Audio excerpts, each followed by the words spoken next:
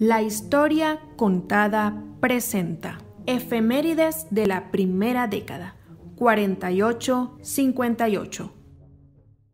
23 de enero de 1958. En Venezuela cae el gobierno del general Marcos Pérez Jiménez luego de tres semanas de crisis. Pasadas las dos de la madrugada abandona Caracas en su avión y se dirige a República Dominicana. El presidente de la Junta Patriótica que lidera la resistencia civil se dirige al país desde la Academia Militar y los presos políticos han quedado en libertad. Una junta militar de cinco oficiales asume el poder bajo la presidencia del contraalmirante Wolfgang Larrazábal.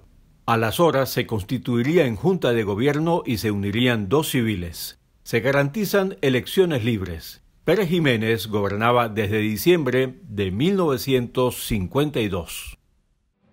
Les recordamos suscribirse a nuestro canal de YouTube La Historia Contada América Latina y seguirnos en Instagram como La Historia Contada 4898.